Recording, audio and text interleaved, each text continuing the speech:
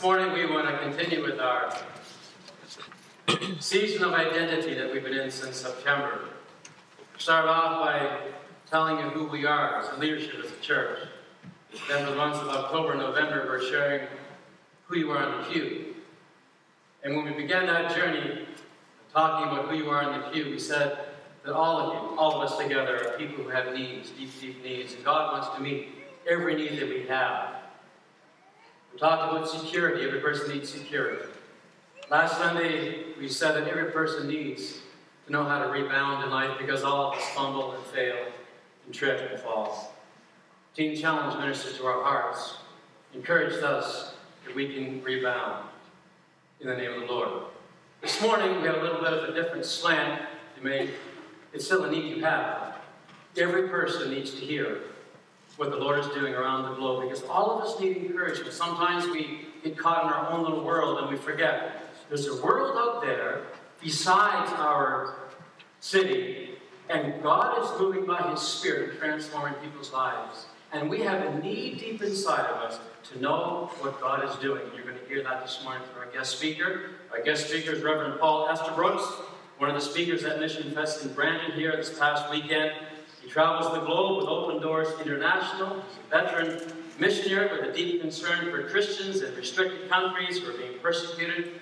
He's led many mission trips and has a heart for people to hear the good news of Jesus Christ. He's going to bless, he'll challenge your hearts this morning. He's also a good fellow maritimer from down east in New Brunswick. Give him a good hand as he comes.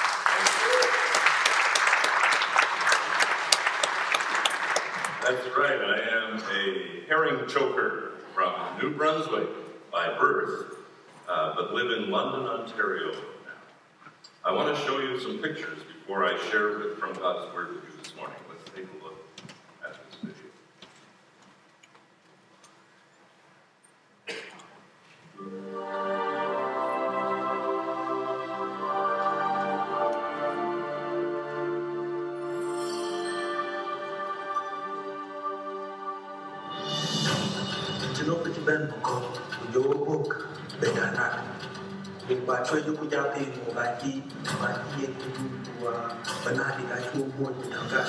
Ellos torturaron a nuestro pastor y al resto de la iglesia. Después vinieron y los mataron.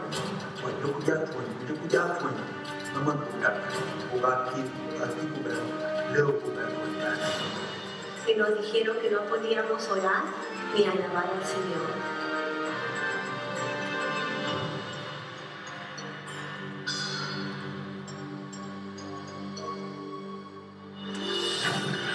在地底下躲在洞里，我们轻声的在赞美神唱歌，可是他们找到了我们，怎么办？ السجن في البلاد دي تشوف الشر بعينه كنت انا ومراتي في السجن اتحبسنا مع بعض في سجن في زنزانه انفراديه لكن ال- اللي اشر من كده انها عملت معامله اشر بما لا يقاس Tiglega ke ka ba ko ni ma ta ba yo ni ma ta. Wa ne na ka ya na wuce. En ya ti bi na ni be Yesu a sa ta be ko. Yo les dije, si me matan, voy a estar con Jesús. Ustedes me quieren matar o me quieren dejar vivir, no importa, yo gano. 耶稣说：“他们逼迫你，他们怎么可能逼迫你们呢？”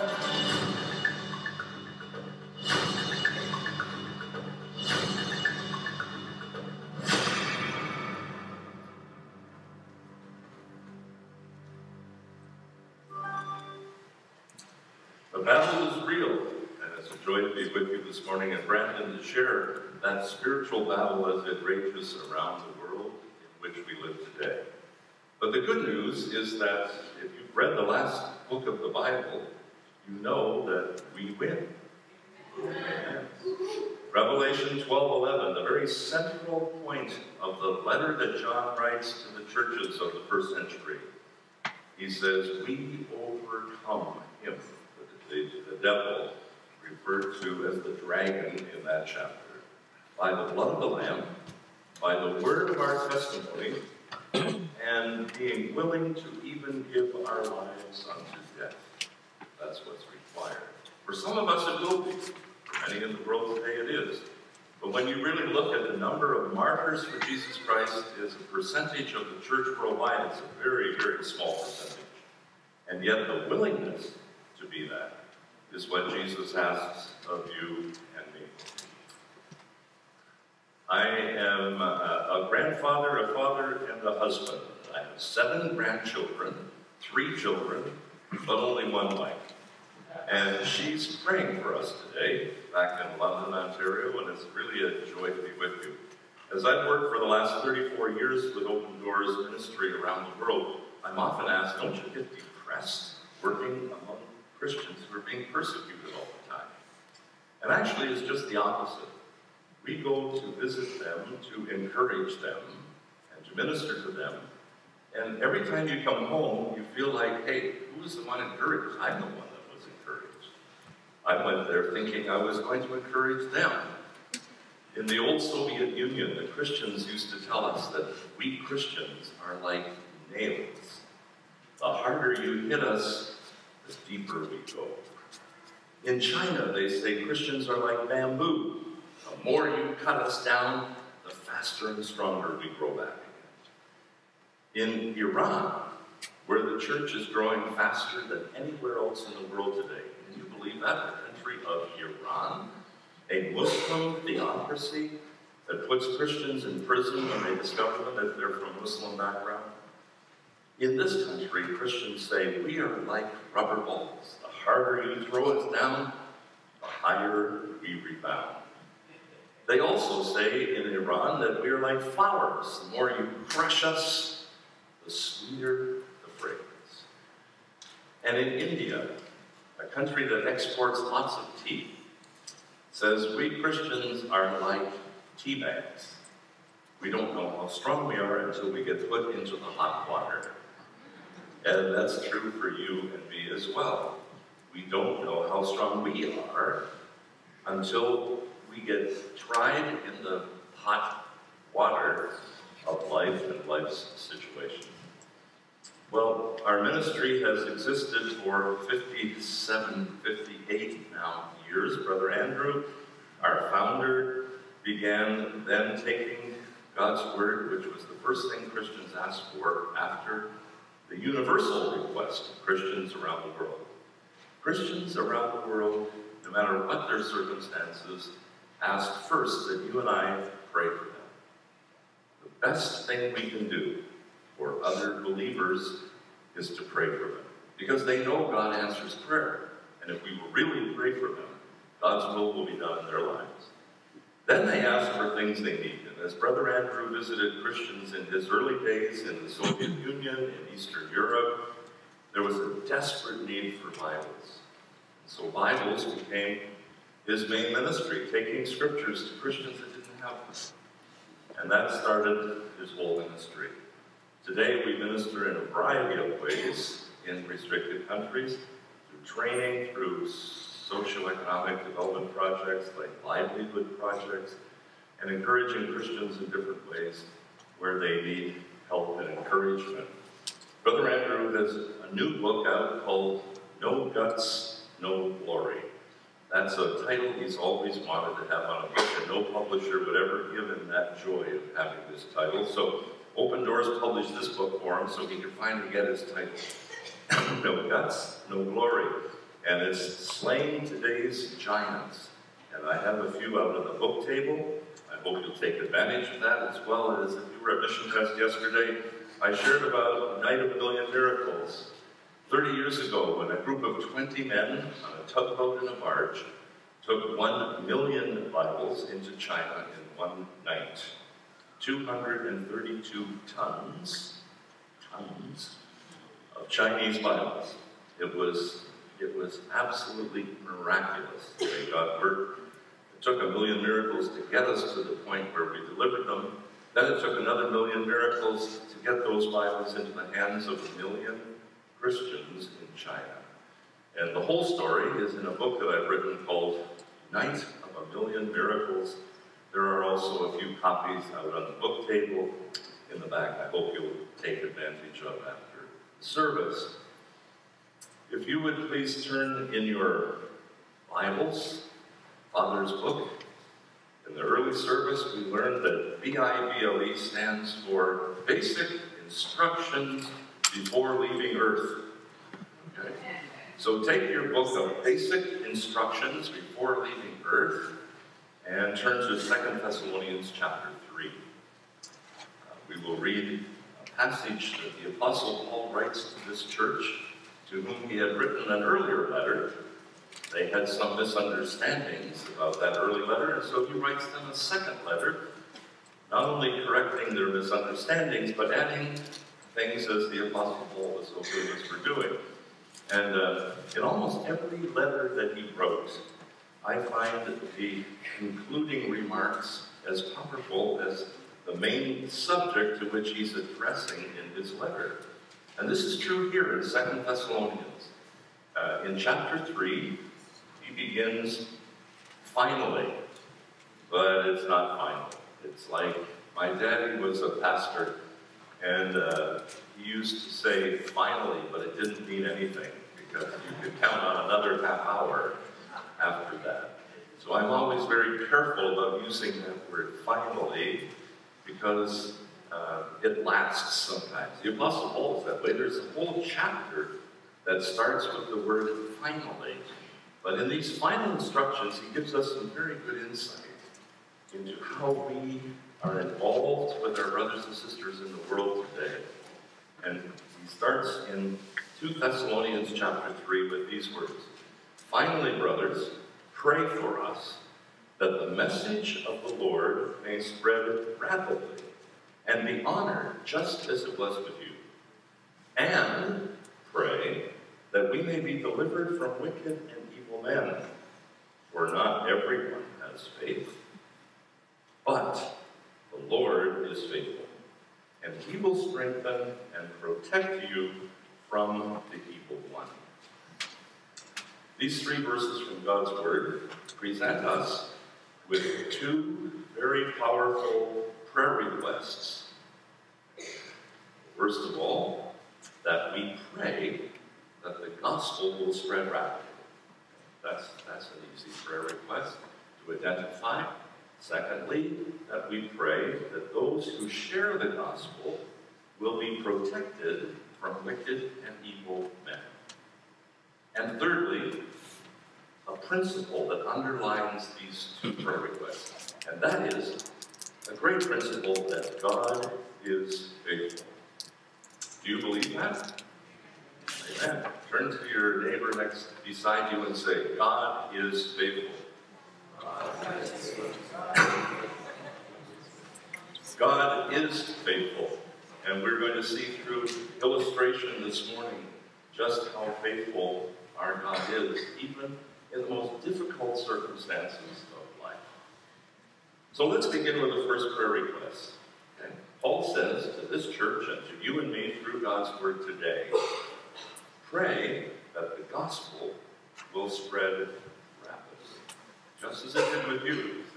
He reminds this church how quickly the gospel developed among them in Thessaloniki and how their church expanded and how people were won to faith in Jesus and their influence in that community developed. And Paul says, pray that the gospel will spread rapidly.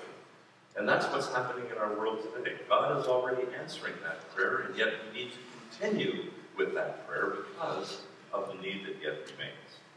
Yesterday at Mission Fest, I was sharing about how God has worked among the Chinese people in China uh, there are 100 million Christians, at least today, in that country, and how they have now a burden beyond themselves.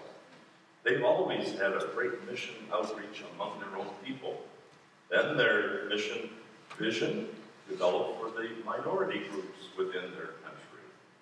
Uh, to such an extent that recently, Open Doors uh, Contacts uh, made a trip to the North Korea border You know that North Korea is the part of the world where Christians suffer most severely and anywhere. It's most difficult to be a Christian in North Korea than any other country in the world. And so these Christian businessmen went to the border of North Korea to meet with those refugees who escaped from the country across the river into China, in the northeast part of China. And they were amazed at how these people came to faith in Jesus so easily when they heard the gospel presented to them, and yet how desperate their situation was. And as they helped them, and when these Chinese businessmen went back home to the central part of China, they started sending container loads of things, of goods, of help for these refugees who come out of North Korea. And they've developed a, a burden for people of other parts of their country. But they've even gone beyond that. Uh, now the Chinese Christians say, we realize that there's a big world out there. What is one of the big challenges of our world today? It's Islam. And they say the gospel began in Jerusalem the time the Holy Spirit was given. And they, the church was established then and said, we need to take the gospel back to the place where it all began. Back to Jerusalem. And there's a movement among one group in China called the Back to Jerusalem movement. But when you think about their challenge, what do they have to do? To take the gospel back to Jerusalem, they have to go through countries like Afghanistan, Iran, Iraq, Jordan or Syria in order to get into Israel to take the gospel to Jerusalem. And that's their burden and their vision. And they know it is going to cost lives.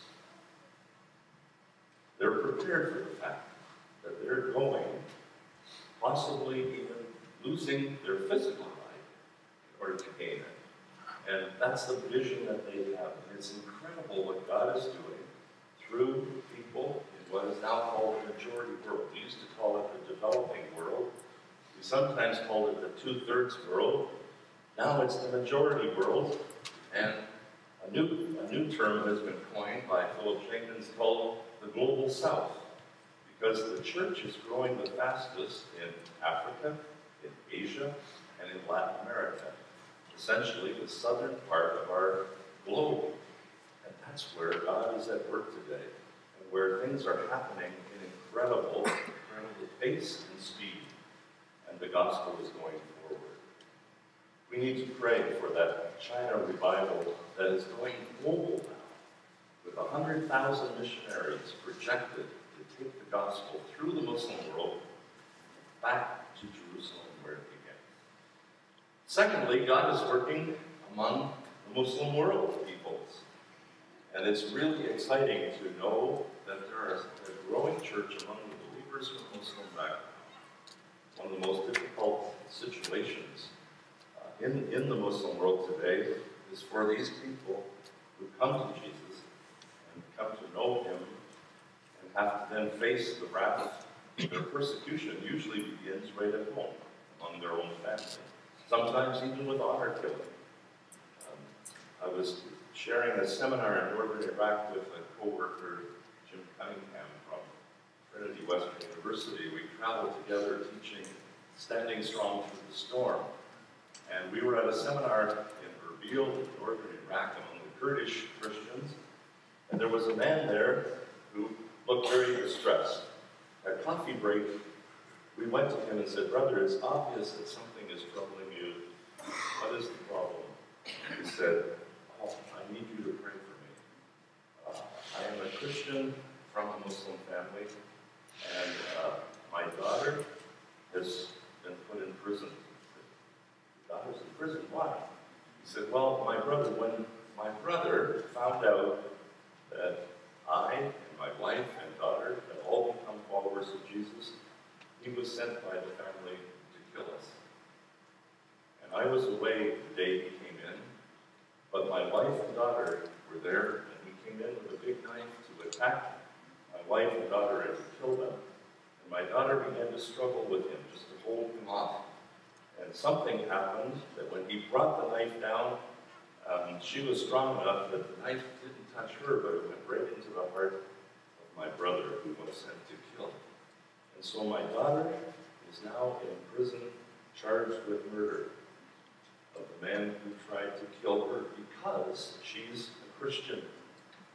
And so we pray for this brother to encourage him And uh, later, uh, she was actually exonerated by the judge as a case of self-defense.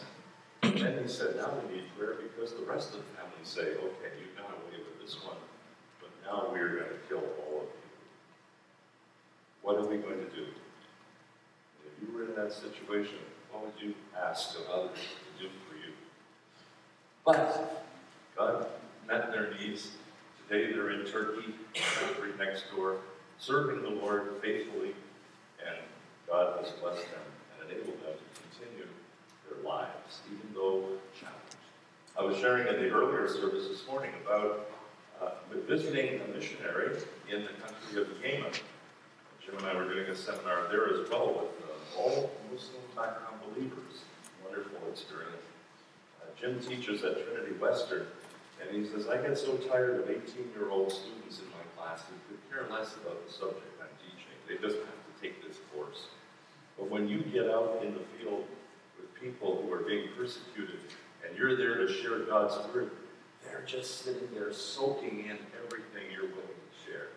And it's such a difference for him. He loves it. We were in Yemen.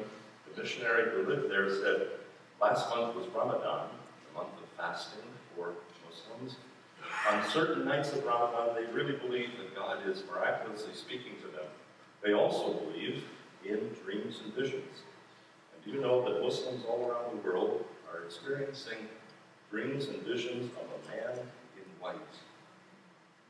Uh, one missionary there said that when I had a day off, I go find a taxi driver and I say to him in the local language, could you take me to somebody you know who has had a dream or a vision of man in white? He said, I haven't met a taxi driver yet who can't do that. They take him to the family. He says, I want to tell this family who the man in white is. And that's the way many missionaries do ministry in the Muslim world. Because God is revealing himself in special ways among these people. They don't all respond. They don't all look for that opportunity. But this missionary said, two mornings during Ramadan, I received a phone call early in the morning. A male voice on the other end of the line said, You don't know me, and I don't know you. But last night I had a dream, and in the dream I was given a telephone number. It was so vivid that I woke up and wrote the number down. Now I'm calling you, asking you, what is it I need to know? Well, how is that for an open door?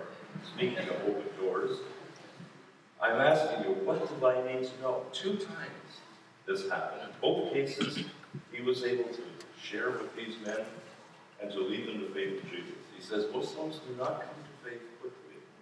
Rarely, he said, does a Muslim ever come to faith on the first hearing of the gospel, as we are often so used to in North America, with uh, situations like our evangelists who have thousands of responding to the gospel. But he said, when they finally make a decision, it's a solid decision to follow Jesus because they know the cost and the price they are going to have to pay for that decision to follow Jesus. But all over our world today, brothers and sisters, the church of Jesus Christ is growing even in the Muslim world. And that's the executive. How else could Iran have the fastest growing church in the world? 20% growth every year in the country of Iran. Second is Afghanistan.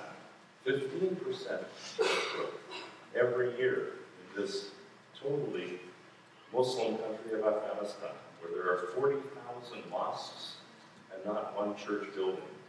There was a church in the early 1970s, uh, but it was destroyed later after just a few years of operation because so many people came to Jesus that the authorities couldn't, couldn't stand having this church there anymore. But there is a church in Afghanistan. No buildings, but the church of Jesus is growing and developing.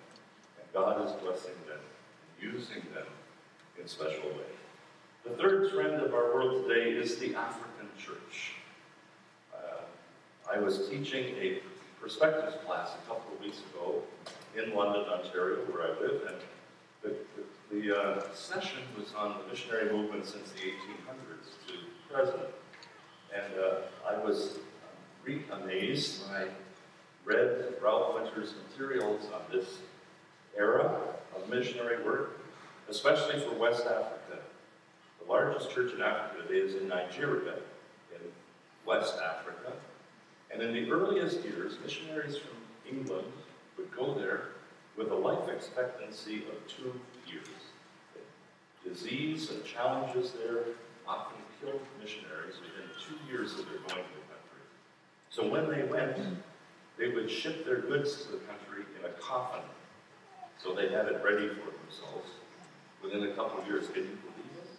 You know, what's even more unbelievable is that people kept going, even knowing this. I mean, you'd say, well, the first group didn't know it, so they go. But after that, people committed themselves to share the gospel in West Africa, even knowing that disease or something was going to kill them within two years of their being there. But they continued to go share God's word. Today, the church, especially in Nigeria, largest church in Africa, most dynamic, most outgoing, most missionaries to the rest of the continent, and under uh, the sub-Saharan area to, down to South Africa is possibly one of the fastest growing areas of the church even today because of what began through the work of God's people who committed themselves and gave their lives for sharing the gospel. So the Apostle Paul says, pray that the gospel will spread rapidly. That's a great prayer request. Because there are still 6,000 people groups in our world today that have not yet heard the gospel. Okay, 6,000, 40% of the population of our globe have yet to be reached at all with the gospel of Jesus Christ. 6,000 ethnic groups. Even though there's a church in every country of the world, these groups still exist that are unreached and need to have the gospel of Jesus Christ presented to them within their culture and within their language. So pray that the gospel will spread rapidly. There is still much to be done. Second prayer request pray that those who share the gospel will be spared, or his actual word is delivered from wicked and evil men. Because not all have faith. But Paul here clearly identifies the fact that these wicked and evil men are not our enemies. Remember how Jesus taught his disciples and us that we are to love our enemies and pray for those who despitefully use you. Uh, bless those who curse you. And you read Luke chapter 6, and you can't help but realize what a radical message Jesus gives to those who follow him. And he identifies, Paul identifies in this passage who our enemy is. We really only have one enemy, and that's Satan. In verse 3, he says, He will, uh, he will protect you from the evil one. It's the evil one who is our enemy, Satan. And uses every tactic he can to try and uh, deflect uh, our serving Jesus. I was sharing in a Scandinavian country uh, a couple of years ago, and the pastor there told me after the service, he said, we are not persecuted here in Scandinavia. We are just seduced. Satan just seduces us, and we don't have to be persecuted because we have been nullified in our effectiveness in serving Jesus. That was his estimation of their situation. The evil one is the one we need to be worried about, who is out to try and destroy the church of Jesus Christ. Yet even when he does everything he can, it doesn't work. I mean, look at the, the death of Stephen in Acts chapter 7. And in the beginning of Acts chapter 8, you have a great persecution that breaks out against the church of Jerusalem. And all of the apostles are scattered throughout Judea and Samaria. And as they go, they share the gospel. Like one of my favorite speakers, David Wang from Asian Outreach in Hong Kong, says in the Chinese Bible, it's translated much better. It says, as they went, they gossiped the gospel. And they gossiped the gospel, meaning using gossip in a positive sense. They just talked about Jesus everywhere they went. People said, who is this Jesus? didn't even know about. And the church grew. Satan thought that he had pulled a coup by martyring Stephen, the great deacon of the church. And yet, God took that situation and totally turned it around. As these people left the city, they began sharing the gospel, and the gospel spread because of their commitment. So we need to pray for those who are being persecuted, those who are sharing the gospel, that God will protect them and use them. And let me give you a few examples of those for whom to pray. Let's, let's uh, go ahead with the picture. Uh, this is from Nigeria. Uh, see the lovely ladies in the top left picture are all widows in Nigeria. Uh, almost all of them, it's my understanding, that their husbands were martyrs for Jesus because of their evangelistic work. And these ladies are left to run a family on their own. They're all widows in Nigeria. But the death of their husbands has been some years back. They have, uh, their broken hearts have healed. And look at those beautiful smiles on these ladies. I just love this picture. It is such a beautiful picture of what God can do in the lives of those who have been broken. And the picture down at the bottom is the newest widow that I know of, Gladys Juma. And uh, Gladys is trying to smile, but she still has that broken heart, and it's very hard for her. Her pain is still raw. She's angry and confused, still asking God why it happened to her husband. Her husband, Ben, was a medical doctor. And Ben took a team from their church on a mission trip into the northern part of the country, which is dominantly Muslim. They were ministering in this area, uh, helping with medical care and other things, and uh, false accusations were made against them by a Muslim group who whipped up the anger of the mob, and the mob proceeded to kill everybody on that mission team trip, including Benjamin, her husband. And Gladys, mother of four kids, lost her husband just recently, and she's still in turmoil over that. And she said, All my husband Ben did was to sell out to Jesus, and that love cost him his life. Somewhere deep in my spirit, I know that something good will eventually come out of this. She begins to think through this whole process. She says, Actually, a neighbor gave his life to Jesus at the funeral of my husband because he said he had long admired my husband's faith, and if my husband was willing to die for that faith, he wants that kind of a God too.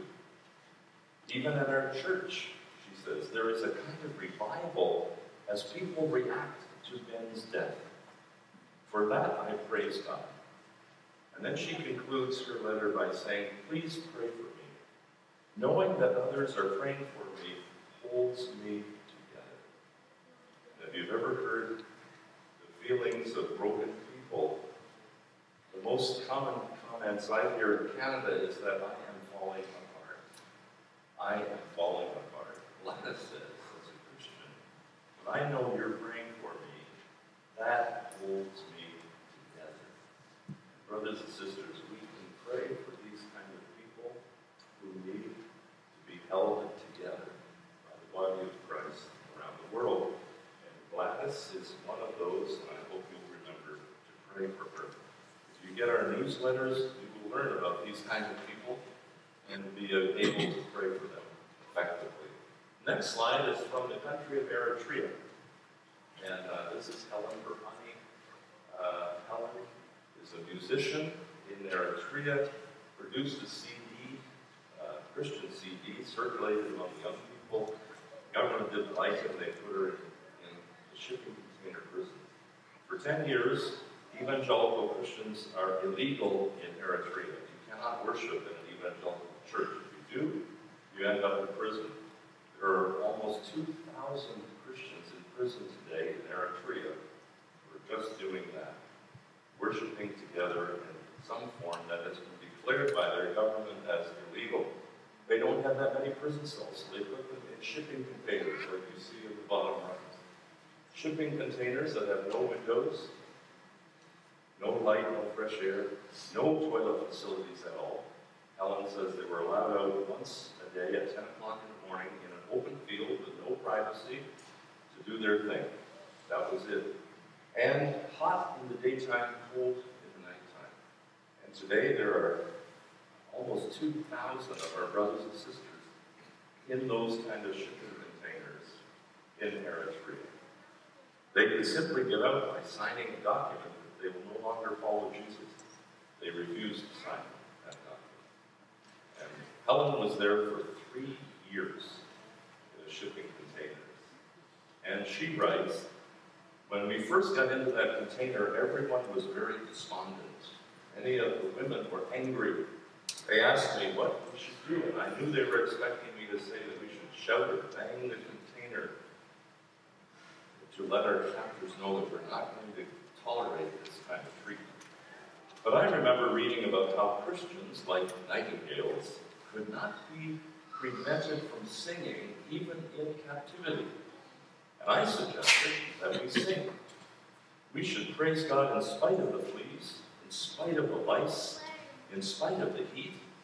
We should thank God despite our circumstances. So she says, I began to sing with them pray and share the word of God Helen was a tremendous source of encouragement to Christians in those, in those shipping containers. And her, her book is called Song of the Nightingale, and it documents what life is like in shipping container prisons in that country. The next picture is from a country of tremendous pain right now. Well, actually, this is from Iran. I was getting ahead of myself. I want to tell you about these two lovely ladies from the country of Iran who uh, were new believers from Muslim background and began to work for Jesus in their country. For three years, they distributed, just these two girls, distributed 20,000 Bibles, one by one, to individuals in a Muslim country where this is forbidden and totally illegal. 20,000 Bibles these girls shared personally with people whom they met. One of their tactics was to get into a taxi, a taxi that continued to pick up people, multiple people, and drive around the city. They found a taxi driver who was not antagonistic toward them, and they spent the whole days, all day in the taxi. And as people got in, they would witness to them and offer them a Bible. They said in three years, only once did anyone turn down receiving a copy of the Bible. And in three years, they gave 20,000 Bibles, established two significant house churches of new believers, all Muslim background believers, and then got put in prison for that. And they spent almost a year in a horrible prison, but their testimony of how God used them in that prison will blow your mind. Think, how can you imagine in this horrible situation that God can do such great things? And they've written about it in a brand new book. Just out called Captive in Iran. And I highly recommend it to you. You can get it, I think, on Amazon. Um, but it is really worth the read to hear how God uses people like two young ladies in the country of Iran. The next picture is from Syria, a country where uh, there's so much hurt and pain at the moment with the civil war that's gone on, especially among our brothers and sisters. 100,000 Christians at least have been driven from their homes, living in refugee camps along the borders of Turkey and Lebanon, as well as inside Syria today. Um, we do not normally do relief and development work. Brother Andrew says World Vision and Samaritan's Purse and other groups do a much better job than we do. But the need for Syrian Christians is so significant we've actually started a $5 million project helping Christians in these refugee situations. Uh, we serve 8,000 families every month in those refugee camps right now. Uh, and the, the numbers are growing, and it's incredible. This pastor, you can find him on YouTube, for those of you who are YouTube fans. Um, I don't know if you heard George Gerber recently announce that he had heard that, that um, Facebook and YouTube and Twitter were all going to combine into one service. And it was going to be called You Twitface. so if, if you go to You Twitface, no, you, YouTube, you will find this man uh, report there. He's a pastor from Syria. And here's what he says My people are hurting. He says, I can cry like Nehemiah because the walls of our city are burned and the people are in great trouble and distress. I can weep like Jeremiah because of the intensity and the spread of evil. I can mourn like David because of the indiscriminate, brutal killing of innocent people. Innocent people are paying the heavy toll of this evil. It's gloomy, sad, and painful. But then he goes on to We deeply appreciate the prayers of God's people everywhere.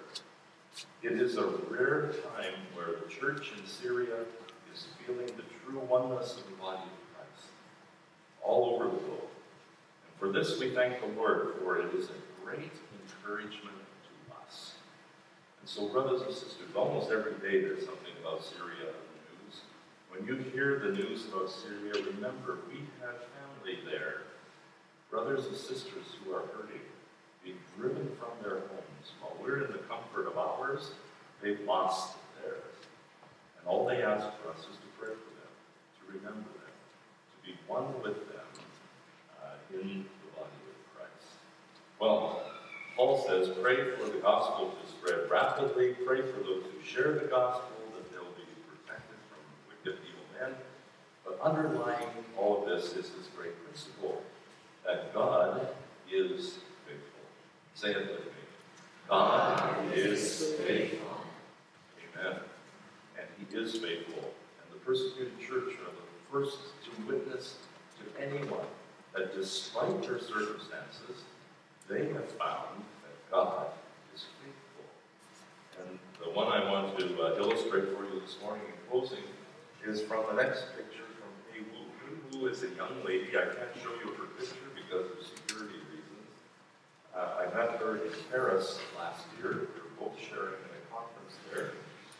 And uh, she's a little lady, probably about 60 years of age now, uh, who has had an incredibly difficult life.